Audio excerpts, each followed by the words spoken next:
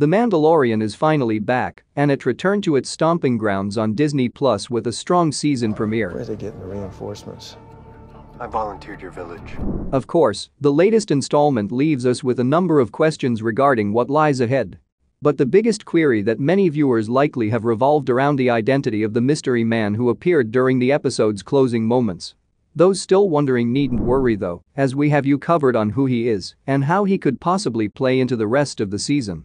The Marshal took Mando and the child, who may have actually gotten even more adorable, to Tatooine as the two sought to find another Mandalorian in the desolate town of Mos Pelgo. Never met a real Mandalorian. After receiving help from the returning Peli Motto, the two make their way to the town, only to find that the Mandalorian is actually a man named Cobb Vanth, the town's marshal who bought the received the armor from Jawas. Following the destruction of the second Death Star. While Mando wants to take the armor in accordance with Mandalorian law, Vanth offers it in exchange for help in eliminating a krayt dragon that's been terrorizing the town. To this, Mando agrees. Eventually, the two realize they'll need help and, against Vanth's wishes, Mando forges a truce with the local Tusken Raiders, who also want the creature dead. To finally take down the monster once and for all, the Sand People and the members of the town end up working together and, with help from Mando, they're victorious. Vanth, holding up his end of the deal, hands the armor over to Mando and the two part as allies. But unbeknownst to Mando and Baby Yoda, a mysterious man watches them as they ride off into the sunset. So let's discuss who he appears to be. Boba Fett was likely the man who was watching the Mandalorian and the child. The man watching Mando and Baby Yoda from afar seems to be none other than Boba Fett, the iconic bounty hunter from the original Star Wars trilogy.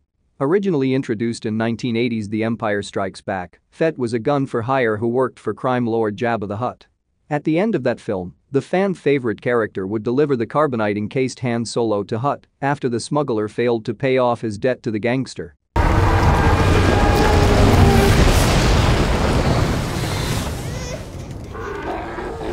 Years later, Fett would be reintroduced to the franchise in 2002 through the prequel trilogy in Star Wars.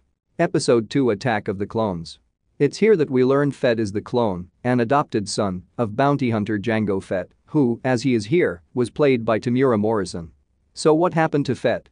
Well, in Empire's 1983 sequel, Return of the Jedi, he remains with Jabba and is present when he takes his sail barge to the Great Pit of Carkoon to feed Luke Skywalker, Han Solo, and their allies to the Sarlacc. But during a scuffle with the blind Han Solo, Fett is knocked into the pit and seemingly consumed by the creature. However, it now seems this may not have been the case, though he is physically scarred from the experience.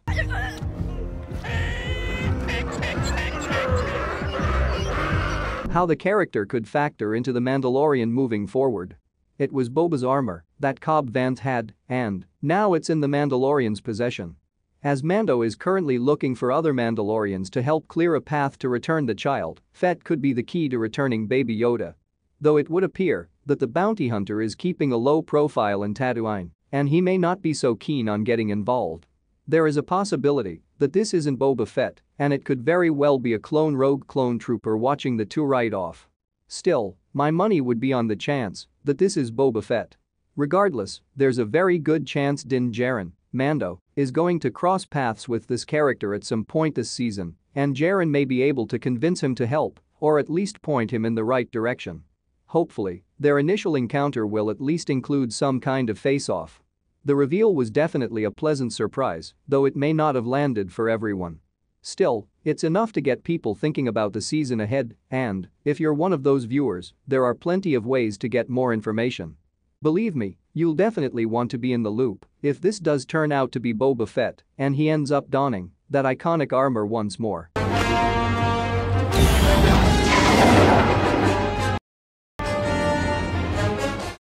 Hope you liked that video and if you haven't subscribed this channel, do subscribe it and we will see you in the next video.